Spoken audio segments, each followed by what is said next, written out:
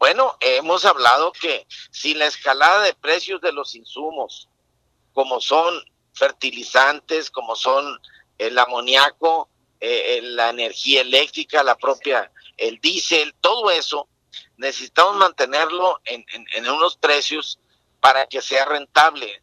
Si seguimos con una escalada de precios, esa cantidad no va a ser suficiente. Hoy